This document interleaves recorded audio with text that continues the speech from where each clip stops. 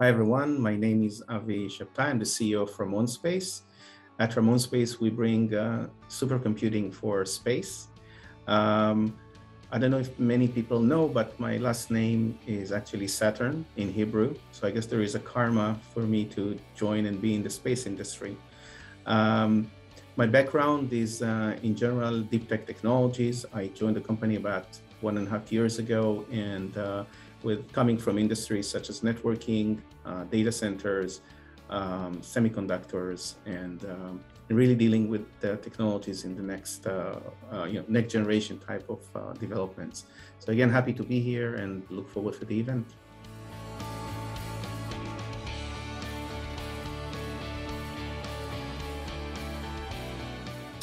I think the um, usage of software in space becomes more and more important in the evolution of, uh, of the space and space market. Um, I think this is uh, a key element in the advancement of the space industry.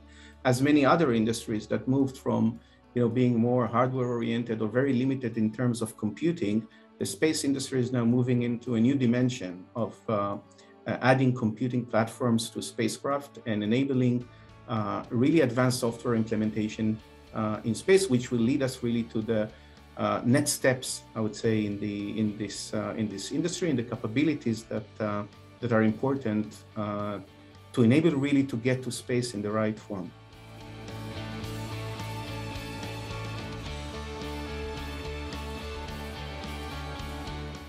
Okay, that's a very big question, but I think that um, you know software-defined space, I'd say it's uh, really the ability to do, I call it Earth-like computing in space. So, you know, when we when we look at software on, on, Earth, we think about, you know, it's not a limitation. We just use software on, on everything that we do.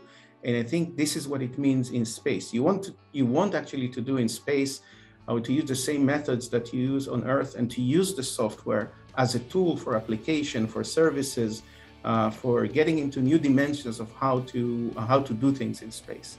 So that's how I think we should look at it. It's really a tool in our hands to implement application services and, and new use cases for spacecraft.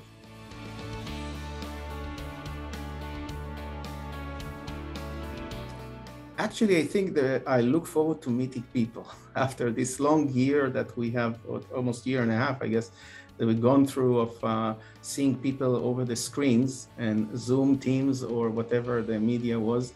Um, I really look forward to meeting people in person and talking to them, interacting, uh, learn about what they do. Um, I think this is it, is really meeting people.